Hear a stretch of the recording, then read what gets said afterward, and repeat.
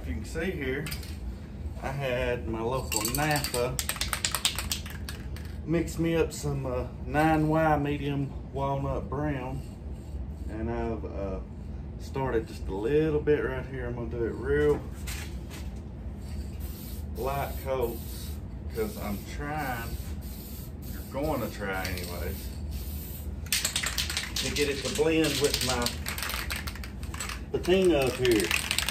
So, gonna try to do that. Hopefully going over the gray will keep it uh, a little lighter because you can't see over here, but it's dark and all this is faded, sun faded, and we're just gonna try to get it best we can because, like I said, this is a patina truck and we're not gonna kill ourselves to try to get it perfect.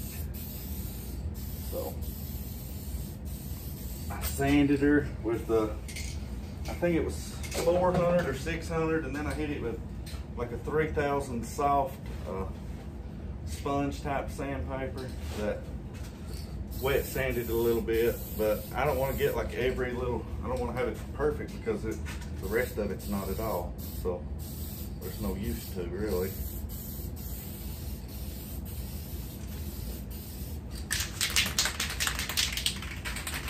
This stuff is like having it mixed up is like uh, 40 bucks a can. So, I mean, it's pretty expensive, but for what that I'm doing, it's perfect for me because I just have little spots here and there that I need to do.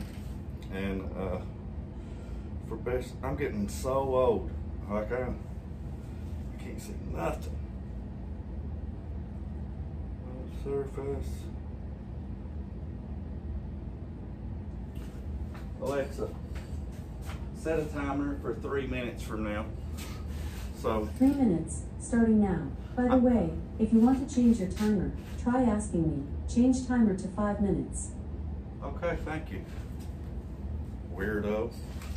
So, I'm going to give this about three minutes and I'll bring you back and let you see the next coat. That'll be my first light coat right there. And we'll see how it goes on. It looks really lighter on that side, cause so that's kind of scary. But uh, we'll see. Give it a few minutes. All right, so let's put on a second coat here. This time a little heavier.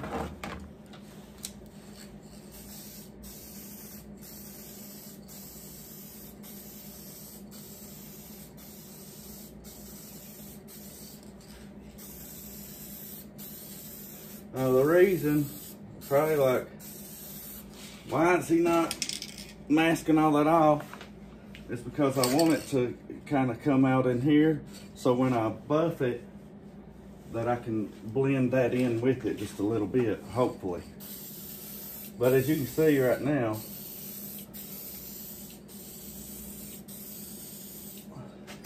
the second coat is looking way better.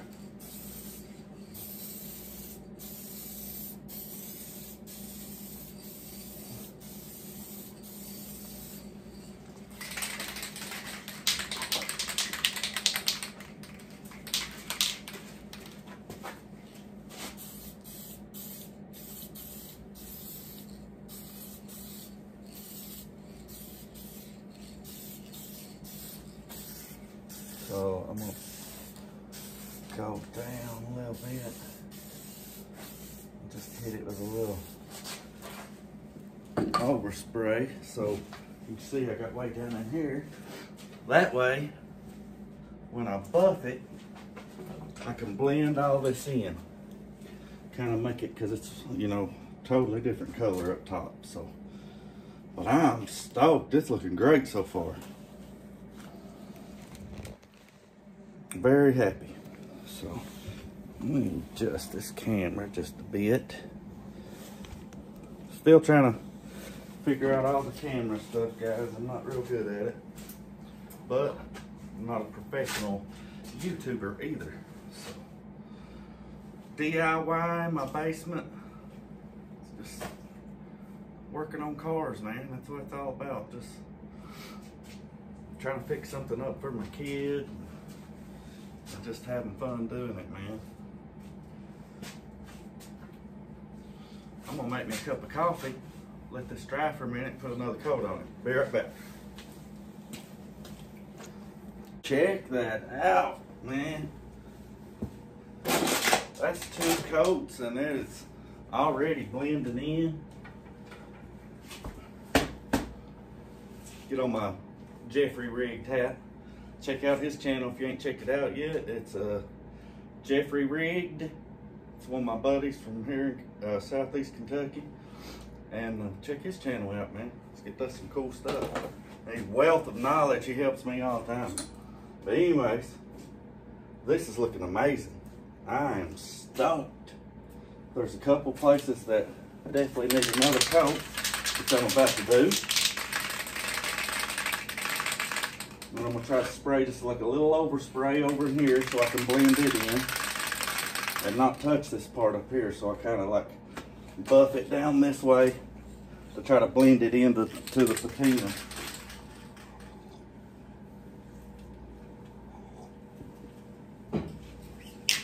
Awesome. Thank God, man. This is great. All right, here we go.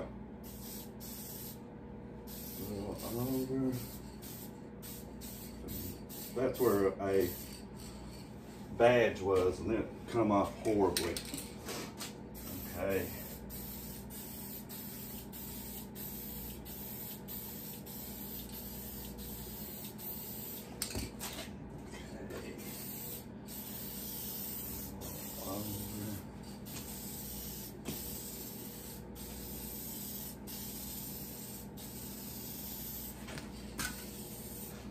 Am I in front of you? Sure am. Let me see if I can get over here. Just see a little better.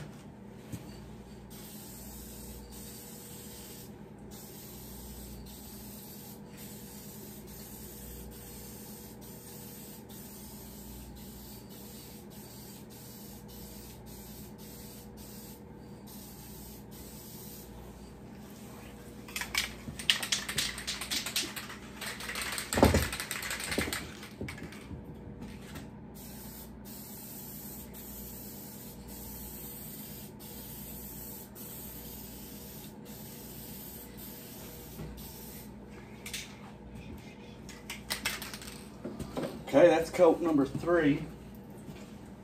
I can see a little uh,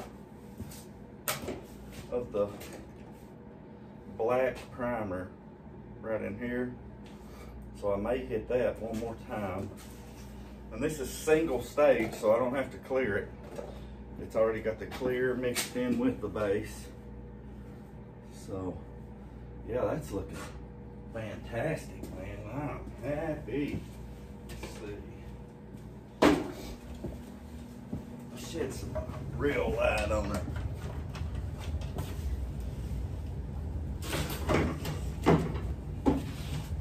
Knock my coffee over. Alright.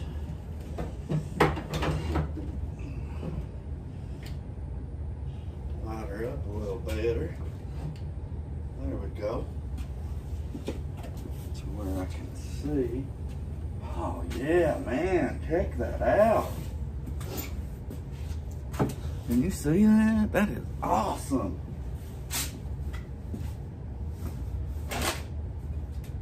And I'm like not a body man at all. I'm just an average DIY guy. And I am surprised at how good this turned out. I mean, it couldn't couldn't be no better for me. Perfect. I don't even mind like the dark spot or the places because it kind of makes it blend in with the patina. So, yeah, that felt good. So I don't even mind that, man. Got some spots right here.